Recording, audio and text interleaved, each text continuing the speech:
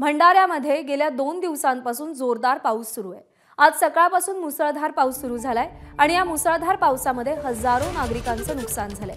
शेकडो हेक्टर शेतजमीन पाण्याखाली आल्यानं पिकांचंही मोठं नुकसान झालंय आणि अशात आज सकाळपासून पुन्हा एकदा पावसानं हजेरी लावली आहे. दरम्यान आजही भंडाऱ्यात जोरदार पावसाची शक्यता आहे.